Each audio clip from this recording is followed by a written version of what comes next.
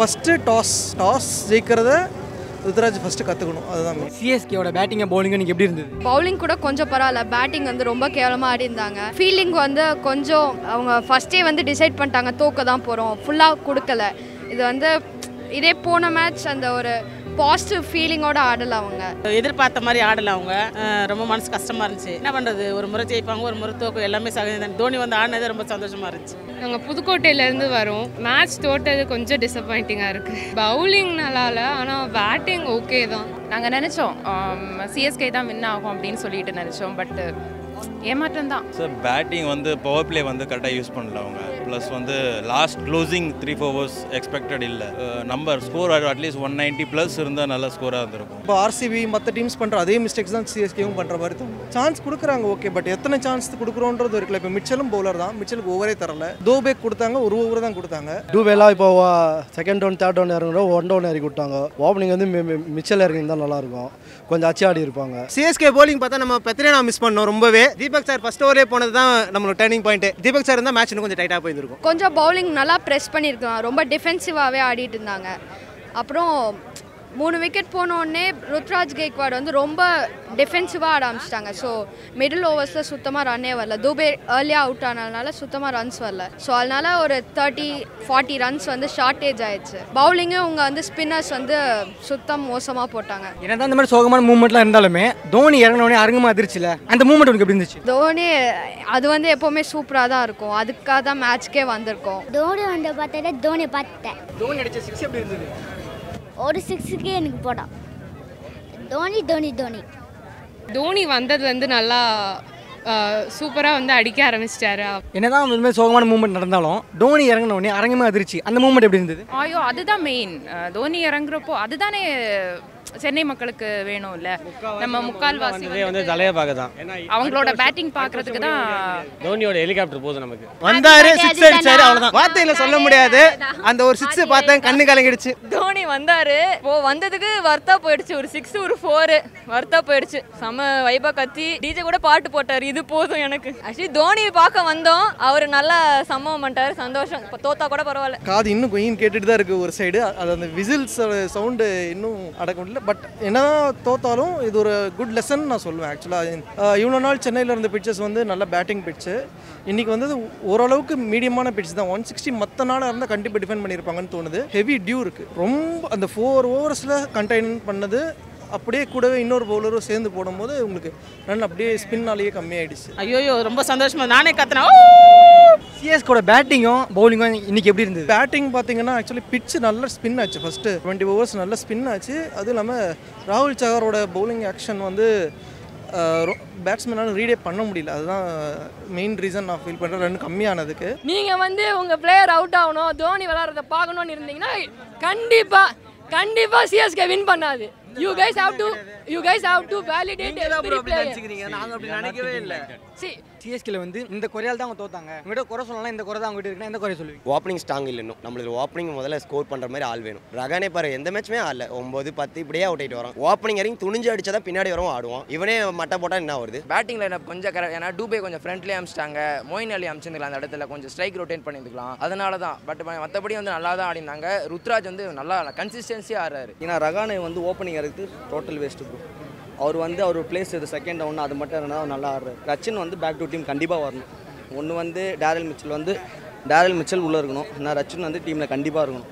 Because அவர் ரெண்டு match வந்து out of form தான். ருத்ராஜ் கடைசி வரைக்குமே சிங்கிள்ஸ் தான் ஆடிட்டு இருக்கிறான். நாற்பது பார் பிடிச்ச ஐம்பது ரன் யாரும் அடிக்க மாட்டா? டெஸ்ட் மேட்ச் ஆடுற மாதிரி ஆடிட்டு இருந்தா இப்படி ஸ்கோர் ஏறும். ஃபர்ஸ்ட் துணிஞ்சு ஆடணும். எட்டு ஆறு பிளேயர் வெளியே நிற்குது துணிஞ்சு அடிக்கலாம். ரகானே சேஞ்ச் பண்ணணும் ஓப்பனிங் நல்லா ஹிட் அடிக்கணும் இறக்கணும் பேட்டிங் சொதப்பிடுச்சு அதான் மெயின் ஸ்கோர் இன்னும் ஒரு முப்பது ரன் சேர்த்திருந்தா அழகாக நம்ம தட்டி தூக்கிக்கலாம் பஞ்சாபை. பார்த்துக்கலாம். நெக்ஸ்ட் மேட்ச் பார்த்துக்கலாம் ப்ரோ போலிங் தான் சொல்கிறேன் தக்கூர் வந்து டோட்டலி நெக்ஸ்ட் மேட்ச்சில் வந்து அவர் இம்ப்ரூவ் பண்ணலாம். மேபி இப்போ நம்ம தர்மசாலா ஆட போகிறோம்னா அங்கே இருக்க டியூ கண்டிஷன்ஸ் தக்கூர் கண்டிப்பாக முடியாது. டிக்ஷனுக்குள்ளே வாய்ப்பு கொடுக்கலாம். டிக்ஷனை வந்து வெளியில் உட்கார வச்சிருக்காங்க. அவர் கண்டிப்பாக வாய்ப்பு கொடுக்கணும். வாய்ப்பு கொடுத்தா நெக்ஸ்ட் மேட்ச் நம்ம பார்ப்போம். பேட்டர் சொல்லுவேன் பவுலிங் கொஞ்சம் நல்லா ஷகுல் தாக்கர் கொஞ்சம் நல்லா மிஸ் ஏன்னா மற்ற மெயின் பவுலர்ஸ் இல்லை. அந்த டைமில் அவர் இன்னும் கொஞ்சம் கான்ட்ரிபியூட் பண்ணியிருந்தா ஈஸி ஏன்னா அவர் நோ பால் போட்டார். நிறைய அவர் அடி வாங்கினார். சப்போஸ் முத்தஃபிர் ரஹ்மான் கூட நல்லா போட்டார்.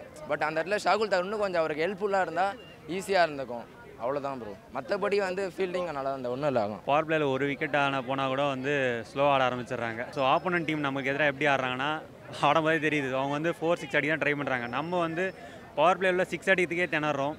ஸோ பேட்டிங் ஆர்டர் வந்து ரொம்ப ஷஃபிள் பண்ணுறாங்க ஸோ ஒரு மேட்ச்சுக்கு வந்து இந்த கன்சிஸ்டண்ட்டான பேட்டிங் ஆர்டர் வந்து இல்லை இப்போதைக்கு. ஸோ பவுலிங் வந்து பொறுத்த வரைக்கும் வந்து ரிச்சர்ட் கிளீசன் டெபியூட் வந்து நல்லா இருந்துச்சு இன்னைக்கு. ஸோ அவர் வந்து எனக்கு தெரிஞ்சு பத் இவர் ஃபிஸ்ட் போயிட்டாருன்னா வந்து கண்டிப்பாக அவர் நல்ல ரீப்ளேஸ்மெண்ட்டாக இருக்கும். அவர் நல்லா பெட்டராகவே பவுலிங் பண்ணார். ஸோ எனக்கு தெரிஞ்சுக்கு தீபக் சேகர் ஷத்துல் தாக்கர்லாம் வச்சுக்கிட்டு இதுக்கப்புறம் பிளே ஆஃப்ஸ் போக முடியுமா? போனாலும் வந்து டிஃபெண்ட் பண்ண முடியுமான்னு எனக்கு தெரியல. ஸோ இப்படி இருந்தால் வந்து பிளே ஆஃப் சான்ஸ் வந்து கொஞ்சம் கேள்விக்குறியாக தான் இருக்குது சிஎஸ்கேல வந்து இந்த பவுலரால் தான் தோத்தோம். இல்லை இந்த பேட்டரால் தான் தோத்தோம். அப்படின்னு யார் சொல்லுவீங்க? தேஷ்பாண்டே வழக்கம் போல தான். அது தெரிஞ்ச விஷயம். அது சொல்லவே தேவையில்ல. அதான் பத்தினா இல்லை. அது இருந்தால் கொஞ்சம் இன்னும் கொஞ்சம் கண்டெய்னர் விக்கெட் கொஞ்சம் எதிர்பார்க்கலாம். விக்கெட்டில் விழுவே இல்லைல்ல. ரொட்டேஷன் பண்ணிகிட்டே இருந்தாங்க சிங்கிள் ரொட்டேஷன் ஃபுல்லாக ஆகிட்டே இருந்துச்சு. அதனால ஈஸியாக ஜெயிச்சிட்டானுங்க.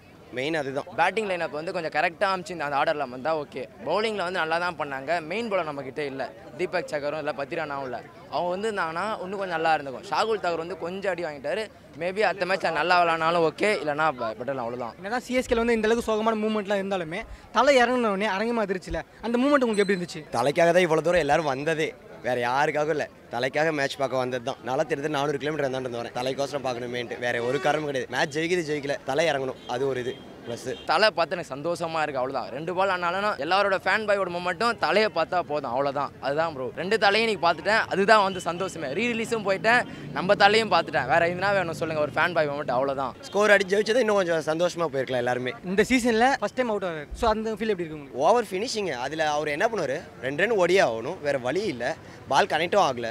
அதுதான் வேறலாம் ஒன்றும் இல்லை. கிரிக்கெட் மூலயமா பார்த்தா கொஞ்சம் குட் கேம் சொல்லலாம். பட் நம்ம சைட்லேருந்து கொஞ்சம் நிறைய இது இருக்குல்ல டிஸ்அட்வான்டேஜ் அதை நம்ம திருத்திக்கணும்ல.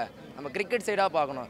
பட் ஃபேனாக பார்த்தா கொஞ்சம் கஷ்டமாக இருக்கும். ஏன்னா ஹோம் டீமு நம்ம இடம் நம்ம இடத்துல தோத்தா கொஞ்சம் கஷ்டமாக தான் இருக்கும். யாருக்கா இருந்தாலுமே தலை தரிசனம் எல்லாருக்குமே முக்கியம் ப்ரோ யாராக இருந்தாலும் ஒரு ஃபேன் பாய்க்கு வந்து தலையை பார்த்தா போதும் தான் நிற்பாங்க எல்லாமே இந்த அந்த லைட்டிங் மூமெண்ட்டு எல்லாமே நல்லா பண்ணோம். தலை தலையை பார்த்தா போதும். ஒரு கேட்ச் பிடிச்சாரு அது போதும். கேட்ச் பார்த்தாச்சு பேட்டிங் பார்த்தாச்சு எல்லாமே பார்த்தாச்சு. இது மேலே என்ன ப்ரோ ஒன்று தலை தரிசனம் நீங்கள் வந்து உங்கள் பிளேயர் அவுட் ஆகணும் தோனி விளாட்றத பார்க்கணும்னு இருந்தீங்கன்னா கண்டிப்பாக கண்டிப்பாக சிஎஸ்கே வின் பண்ணாது. You guys have to you guys have to validate every player நாங்க அப்படி நினைக்கவே இல்லை. சி ஓகே சிஎஸ்கே வின் பண்ணோம் டோனி வந்து ஆசை. Then you are happy for Ruturaj wicket நீங்க லைக் அந்த அந்த கிரவுண்ட் அவ்வளோ சவுண்டா இருந்துச்சு. ஆமாங்க. தோனியோடக்காக இது பண்ணல தோனி வரக்காக கத்துறோம். தோனி வந்த பண்ணி சாமியான மாதிரி இருந்துச்சு. ஆ, இல்ல, ஒ- ஒத்துக்கிறேங்க. அதெல்லாம் தப்பே கிடையாது. ஆனா அந்த இடத்துல ஒரு பிளேயரை நீங்க இன்வாலிடேட் பண்றீங்க. யூ நீங்க அவரை அப்ரோச் என்ன? அவர் நீங்க ஹார்திக்- பண்ணல. மும்பைல பாண்டியா பண்றாங்க பாத்தீங்களா அதான். அது பாண்டியா இல்லைங்க ரோஹித் சர்மா என்ன பண்ணணும்? தோனி என்ட்ரி வந்து ஆடுற வரைக்கும் சைலண்டா இருந்துட்டு அதுக்கப்புறம் ஆ கத்தணும் லைக் தோனி ஆடும்போது கத்துங்க. தப்பு கிடையாது. பட் ஒரு ஒரு பிளேயரோட விக்கெட் விழுந்துட்டு தோனி வரணும்னு நினைக்கிறது it's so bad it's raw தோனிக்காக கத்துறோங்க நாங்க. விக்கெட் விழுந்தா தாங்க தோனியே வருவாரு.